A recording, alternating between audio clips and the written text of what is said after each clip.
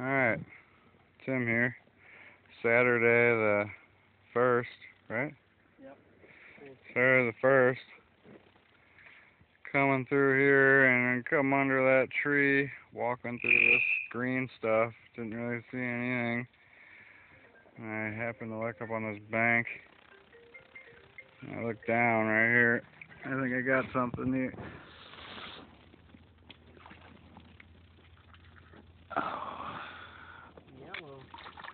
It's like a Oh, not too much. Off into a creek somewhere. Me and Timmy are just. it's like a tool or something, some kind.